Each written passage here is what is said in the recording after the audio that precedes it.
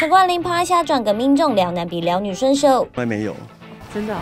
对，所以这些耍帅会有难度吗？呃，对我来说是非常有。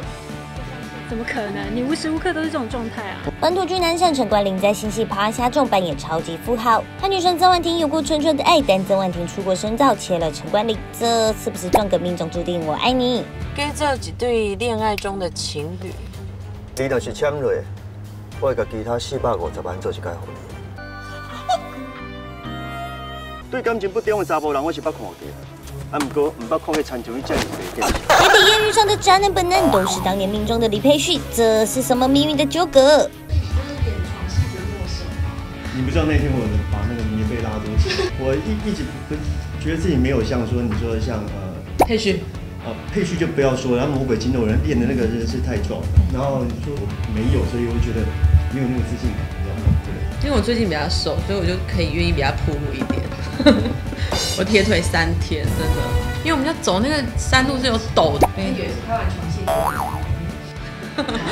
你好会想哦，真的是好有画面，好有画面哦。而剧里错综复杂的感情线，真相是这样。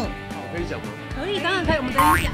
他曾经有一次我在出外景的时候，我跟雨杰在出外景，因为我们冷的要死，冷的要死。突然有人说，就是有人呃送咖啡来，就冠霖哥。我说不对啊，今天这一场没有冠霖哥啊，他人不在现场，让他请我们现场工作人员去买咖啡，请大家喝。然后简讯私讯跟我说，我这样做是为了你。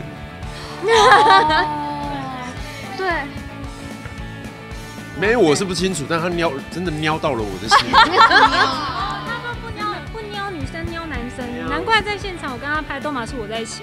对啊，我从来没有喝过冠霖哥的咖啡。因为我跟冠霖哥演演很多档的情侣，那他大概撩妹就是那几招而已，没错，所以我已经免疫了。我现在就问的是现实中了。不过这次好像有说冠霖哥是你心中的第一男神，这是终于还这谁说出来的？他很会照顾女生，对，所以我就说他的电力福特一百。我不是只照顾女生，我连李佩旭我都照顾到了。